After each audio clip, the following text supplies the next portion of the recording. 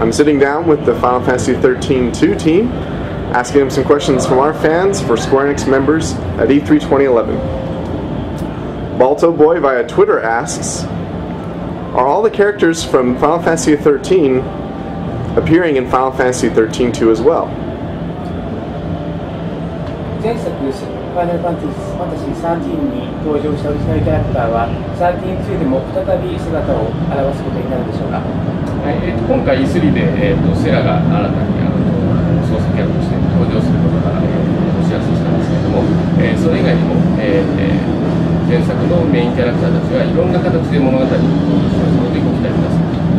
Uh, we've just announced that uh, uh, Sarah is one of the playable characters for 13-2. But other than that, other than her, uh, all the main characters from Final Fantasy 13 will be reappearing in 13 too, in one way or another. So please have high hopes. Excellent, thank you. And we also have another question from our Square Enix E3 2011 members submittal forum. And that question is the timing for the release of Final Fantasy 13 was December for Japan and March for the United States. Will we see a similar timing for 13.2 and does that mean a March release? 前作13の場合はですね、日本で12月に発売された後、えー、その翌年の3月に北米で発売されたわけですけれども、今回の13-2に関しても同じような、えー、ズレを持った発売時期になるでしょうか。えー、ファイナルファンタジー13の、えー、リリースタイミングですけども、えー、もうすぐ日本では、えー、前作と同じで、えー、12月発売ですが、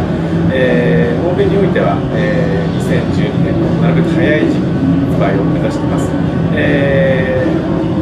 えー、前作に比較して、えー、より楽で遊びたい形で発売したいと思いますので、えー、よろしくお願いします。Uh, as for release timing for 13.2, uh, we're expecting that the title will come out in December in Japan, and we are hoping to release the title uh, as early as possible in 2012 in North America and Europe.